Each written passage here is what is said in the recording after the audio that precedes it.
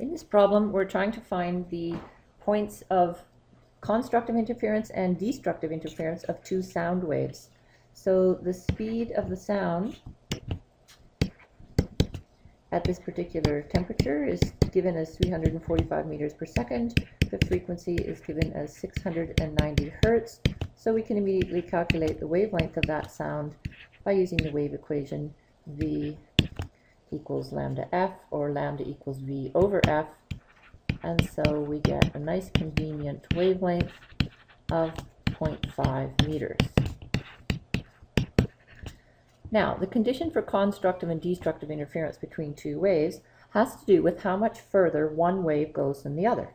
So let's just look if one wave travels, say, that distance, and we'll call this distance y, and another wave which gets emitted at a different location but happens to travel a different distance, in order for them to interfere constructively, that means that their peaks line up.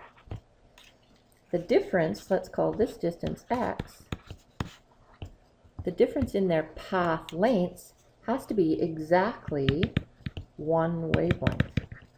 So if this, that's called the path difference, is exactly one wavelength, or any integer multiple, one wavelength, two wavelengths, three wavelengths, then this will be a maximum.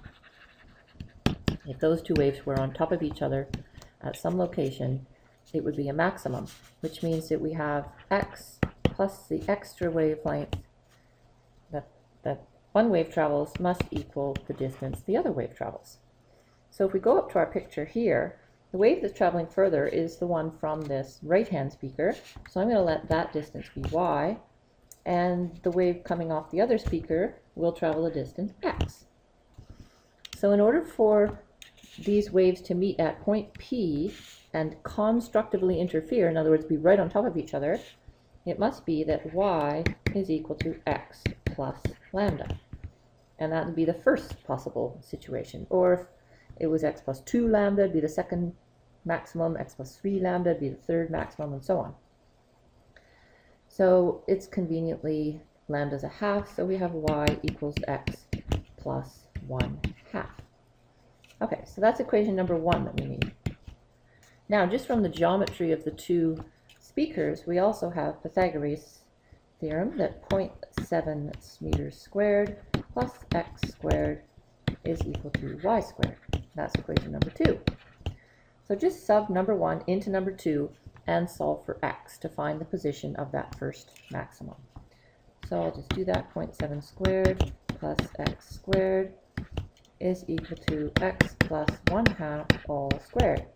Expanding out that right hand side, x squared plus 2 times x times 1 half plus 1 half squared. The x squared cancel, and I have 0.7 squared is equal to 2x times a half, which is x, plus 1 half squared.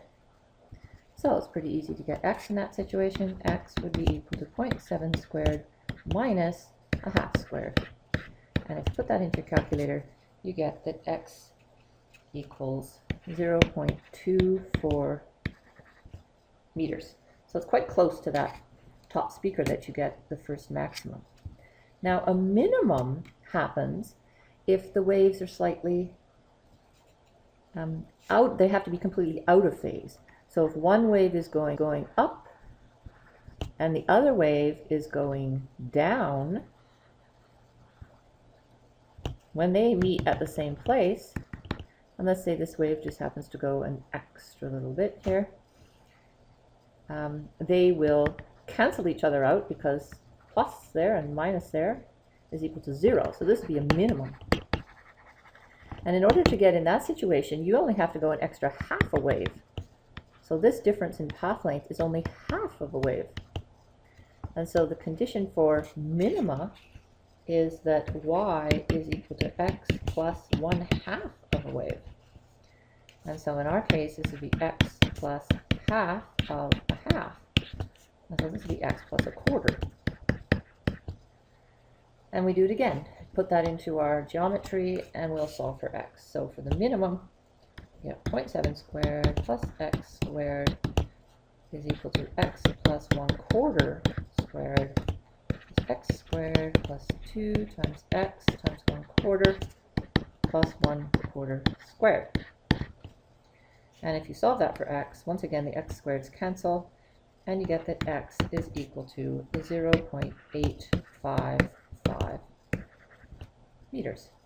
And that's the final answer for that problem.